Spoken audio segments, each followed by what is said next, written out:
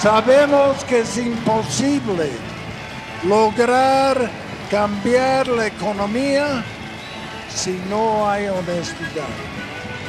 Luchar contra la corrupción no es un acto de voluntad solamente, es un acto de conciencia. Un mandato concreto para que desde la vicepresidencia luche y erradique la corrupción. Y luchar contra la corrupción quiere decir ponerle fin a la impunidad.